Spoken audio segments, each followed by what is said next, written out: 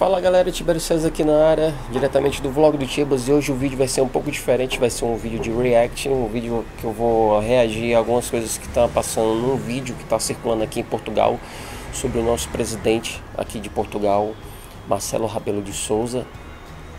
Esse vídeo aconteceu na Feira do Livro, uh, essa semana no Porto. Quem comentou comigo foi minha patroa e eu resolvi dar uma pesquisada e eu vi, eu achei bastante interessante. Vamos lá conferir comigo. Por que é que o senhor não muda as coisas? O presidente tem os poderes Você manda.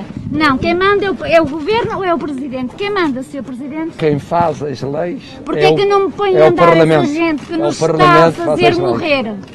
Porque é que eu tive que assistir ao suicídio de um colega meu uma semana atrás? Porque não aguenta mais com a pressão do país. Mas eu dou-lhe a resposta. Que nos tiram as tripas. Mas, Nós temos que pagar tudo e ninguém nos ajuda. Mas eu dou-lhe a resposta. Porque é que ajudam a TAP os hotéis e nós que somos microempresários não nos ajudam, Sr. Presidente? Porquê? Então eu dou-lhe a resposta. Porque os, portugueses, é porque os portugueses votaram neste porque governo. Porquê é que eu tenho que comer Diga aos portugueses não, para votarem no outro nesse governo. Mas votou a maioria. É como se fosse tudo programado, Votou a maioria. O que é que eu hei de fazer?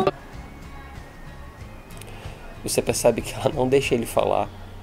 Ela vai falando, falando, falando. E com toda razão, a situação que está no mundo está muito difícil com essa pandemia. Não só aqui, mas todo mundo no Brasil, em Portugal, na Europa.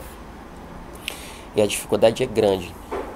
Tomem uma atitude pelo povo, em nome do povo, em nome dos nossos jovens, das nossas crianças. Mas quem vota é o povo. E, portanto, o não, não é o povo, é como se fosse. Então, porquê é que o primeiro-ministro entrou e em 24 horas já estava o António Costa lá dentro? Porquê? Porquê? Porquê é que no resto da Europa usam um ordenado mínimo, são mil e tal euros? Nós não saímos dos 500 e pouco. Eu tinha 14 anos, já eu ganhava isso nessa altura. Bloqueou, parou ali.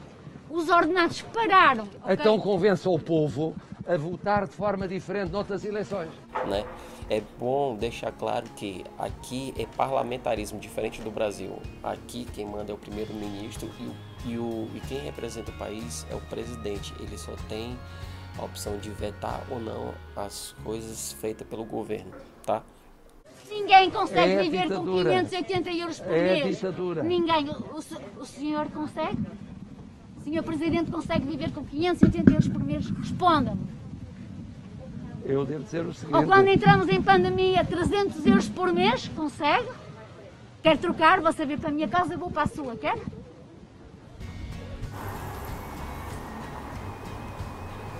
Bom, tá aí. Espero que vocês tirem as conclusões de vocês. Eu não tô aqui para falar mal do presidente, muito pelo contrário, ele é um cara que sempre dá a cara a tapa, seja coisas boas, seja coisas ruins.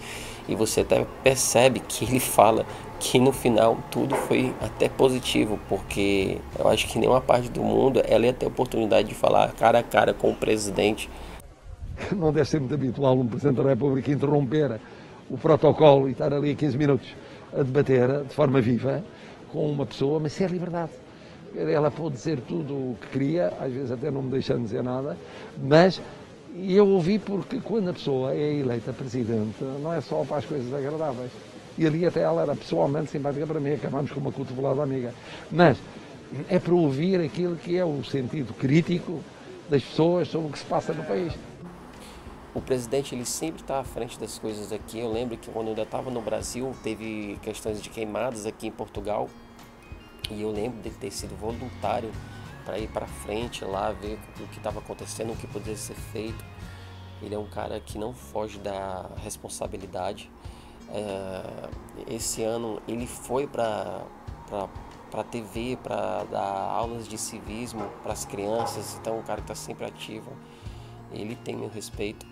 Uh, esse vídeo é mais uma prova que ele ouve o povo, que ele está próximo do povo. Bom, eu espero que vocês tenham gostado, é isso.